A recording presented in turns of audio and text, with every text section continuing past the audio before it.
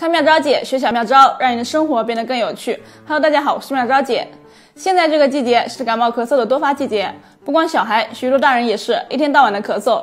妙招姐也逃不过这个魔爪，各种感冒止咳清火药，不知道吃了多少，就是不见好转。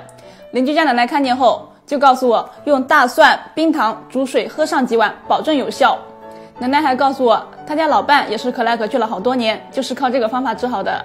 妙招姐事后果不其然，效果立竿见影。所以今天妙招姐就来和大家分享这个治疗感冒咳嗽的小妙招。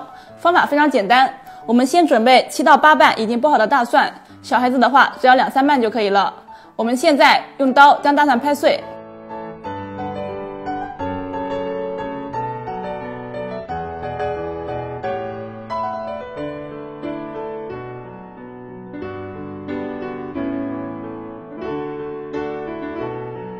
然后再加入几块冰糖，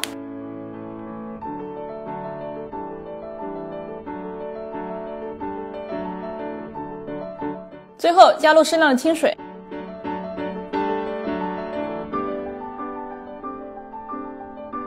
好了，我们现在就拿去锅里蒸吧。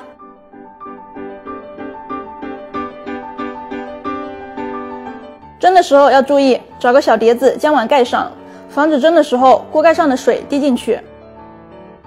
我们大火烧开后，改小火蒸十到十五分钟，煮到水发白就可以了。蒸好后，大蒜不用吃，只喝水就可以了。每天两到三次，一次小半碗就可以，喝完立竿见影。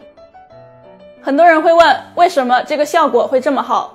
其实大蒜中含有一种叫硫化丙烯的辣素，对病原菌和寄生虫有很好的杀灭作用，可预防治疗感冒，减轻发烧、咳嗽、喉痛。及鼻塞等感冒症状，冰糖又有化痰、止咳、润肺的作用。还有，我们平时还可以用大蒜泡水喝来预防感冒哦。那么今天的妙招分享就到这里了，赶快把这个妙招分享给你的家人和朋友吧，这样可以帮助更多的人哦。如果你想看更多的生活小妙招，就请关注妙招姐吧。还有，记得在下方点赞留言哦。我们下期再见，拜拜。